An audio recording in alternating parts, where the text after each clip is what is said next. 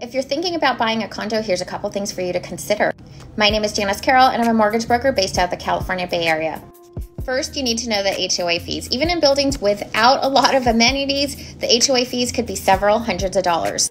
Oftentimes, borrowers will look to condos expecting that it's going to be a less expensive option for them, not realizing the hundreds of dollars of HOA fees does affect their qualifying ratio and therefore their max pre approved amount.